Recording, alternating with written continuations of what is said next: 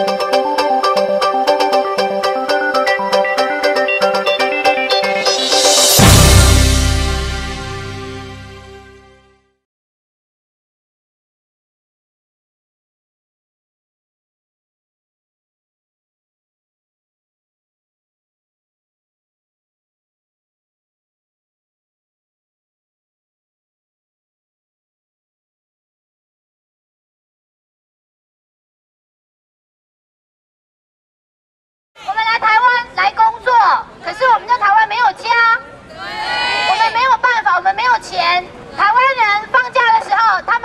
逛百货公司、唱 KTV、去海边玩。可是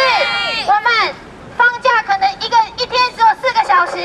四个小时我们根本来不及去海边玩，我们没有钱去 KTV。我们的老公可能在台中，所以我们只能够在车站跟他见面，因为两个小时之后我们就要再回去上班。我们是要告诉在台北车站坐车的人，在外劳的辛苦在这里。我们不是来跟他们吵架，哈。外劳要玩，政府就没有把那个公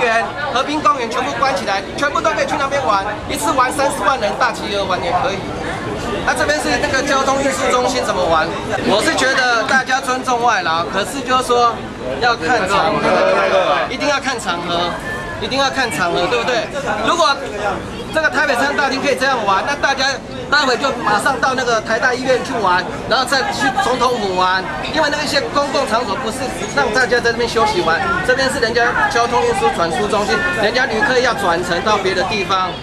对不对？他就是他弄在周末，也很清楚是针对外劳，外劳就是在周末的时候才会出来。所以我觉得他当然是有针对他，他不，他只是没有笨到写着白纸黑字写下来说是针对外劳，但是中间围起来地方他是不可能做到，就是红龙中间打叉的那个 X 型，他只有通道让人过，他情愿围起来不让任何人进去。我说，如果你真的要让人家通道，你就围一个通道让人家走就好了，你为什么要围出禁制区？他当然很清楚是要清场。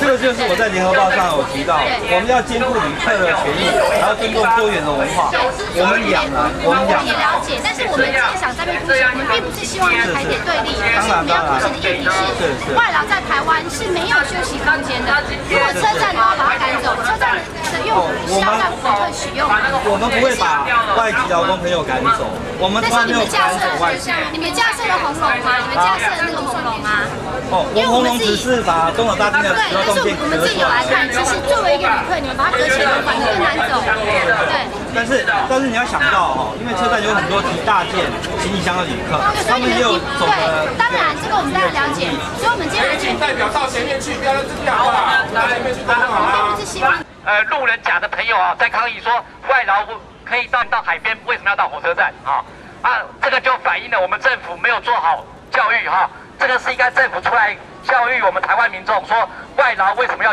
要来这些公共空间？那我们看到我们这个事件以后，只有台铁出来讲话，我们劳委会主管机关作为外劳主管机关，他从头到尾没有吭一句声。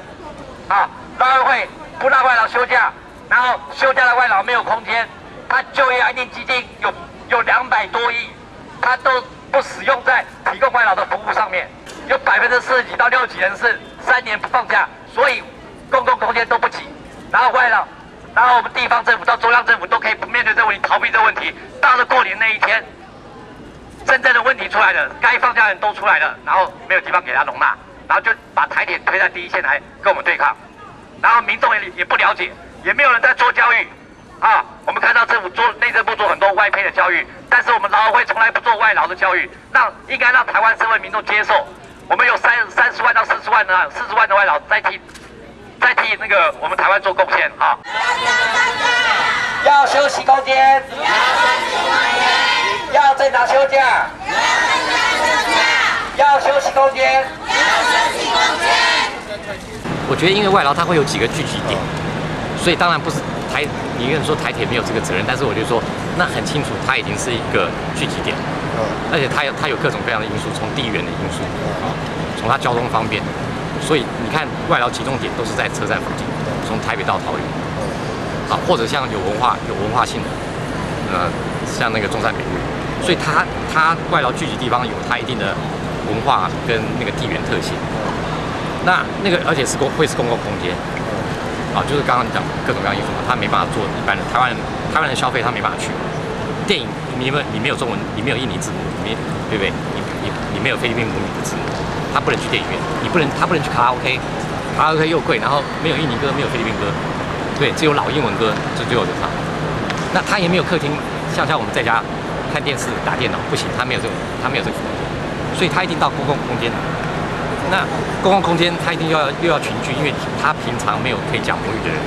所以他一定是放假要跟他的家人群聚，所以他一定会在特定的车站附近或交通要道的空间里行去。那我觉得香港政府就很清楚的一个做法，就是说由政府来处理这个公共空间，因为他他没法。当然，更好的政府应该是提供一个更真正给外劳休息空间，但是他没有。那香港政府至少现实上接受说，那他就在公共空间聚集。啊，那他就尽量把那个公共空间做比较好的服务跟设施，包括特别提供清热清收礼收垃圾的，跟提供垃圾袋，这个都在香港从我刚刚讲的是香港地价最贵的那个中环置地广场，它开放一整条街道让外劳去使用，然后由那个政府的人员提供垃圾清理的服务，一直到晚上我记得到十点还是几点，所以他至少都是现实接受，那他然后由政府出面在这些。会聚集的公共空间来来解决它的那个造成的，就说那个使用上的压那个压力嘛，所以不应该是台铁来承担没错。大家知道香港有很多也有很多的外籍劳工，香港有很多外籍劳工，可是呢，呃，香港的整个社会对于外籍劳工的休假需求是比较宽容的。那这边可以看到很多照片，就是呃他们的很多公共空间，包括公园，包括街道，那他们都是都是开放让。外籍劳工可以在假日的时候使用。台台北市那天那天电视有说，台北市政府有提供说外劳活动中心，可是它一年的使用率只有一千五百，一年哦。在哪里啊？在台北市政府的那个劳工那个外劳科永乐市场楼上，外劳根本不会去那里，交通不方便啊，然后没有没有任何特殊的文化集中点啊，也没有任何印尼商店，也没有菲律宾商店，也没有菲律宾人会去，谁会去使用那里？就是特殊的人。所以一年使用率就一千五百人而已。我觉得还是应该在公共空间，像像火车站跟公园提供好的服务，让外劳可以避暑避雨，有地方丢垃圾，可以进行有限有限度的商业行为，就像香港那样。啊，香港在维多利亚广场有时候下雨的时候，大家搭棚子。台湾通通没有啊，对，连垃圾都不收啦，然后就怪外劳乱丢垃圾。